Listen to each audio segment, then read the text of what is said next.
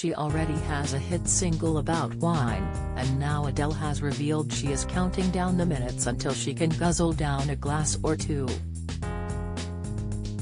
The 34-year-old singer is currently taking Las Vegas by storm with her hotly anticipated weekends with Adele residency at the Coliseum at Caesars Palace. The star has been performing to fans in Sin City since the middle of November, and will be singing week after week all the way until the end of March 2023. And it seems the star is looking forward to a glass of wine at the end of her run. According to The Sun, Adele has opened up about her love for a glass of white, and claims she banned herself from drinking while her residency is in session as she fears she would do something silly. Looking ahead to the end of her run, the singer said, I'm going to have a white wine as soon as I step off stage. If I have one now I will forget my lyrics and take my bra off or something. She added, I'm going to get drunk for the first time in months.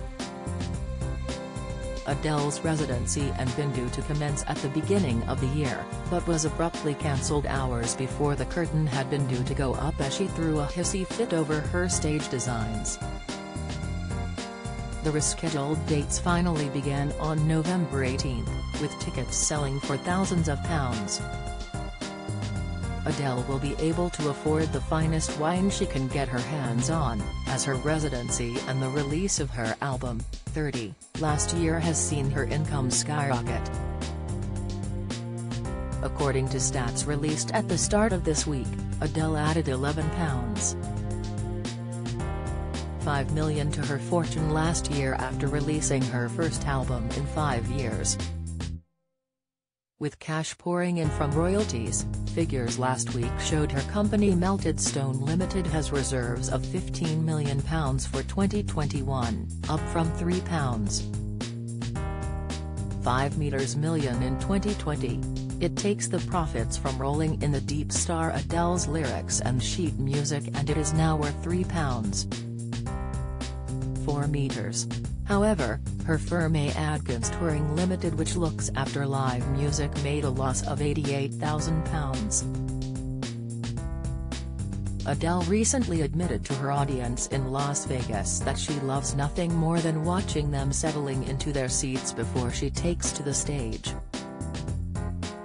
She told her Caesars Palace audience, at 6.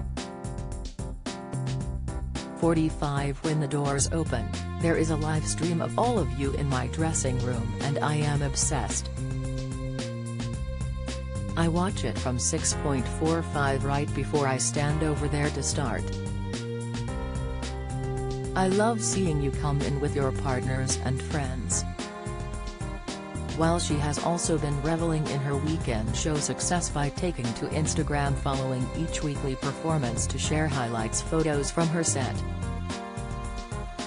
Follow Mirror Celebs on Snapchat, Instagram, Twitter, and Facebook.